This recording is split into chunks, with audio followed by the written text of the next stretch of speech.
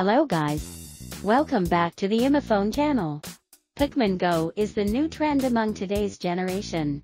Have you played this game yet? And some of you may encounter the fails to detection error. What would you do in this situation? In this video, I will show you how do I fix this error. Okay, the first method, turn on location services. A lot of times we disable the location services, or it gets automatically turned off if we have set our devices in battery saving mode.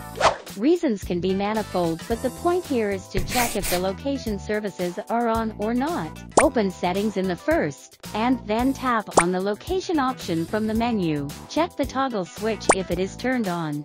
If not, simply tap on it to enable. The second method, clear reset Pokemon Go data and log back in.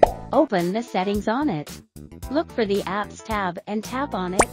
Now, we will see the option of Manage Apps. Simply tap on it. Then, from the list of the apps, look for Pokemon Go and open it. Now, tap on Clear Data. This will reset the data of Pokemon Go. Therefore, we need to re-log in order to play the game. Well, if your Pokemon Go still failed to detect location, don't worry, there is another way to fix this problem.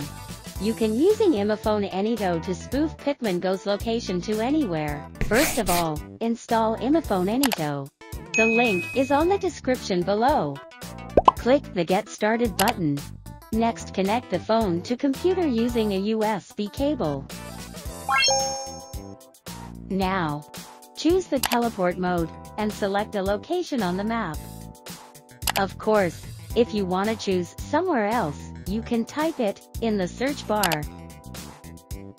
And then click Move. Once click the Move button, we can find our GPS location on Pokemon Go is changed. Awesome! That is how we can change GPS location when it failed to detect location easily. Have you fixed the error? Just enjoy Pokemon Go. For more information about Pokemon Go, subscribe to iMyFone channel.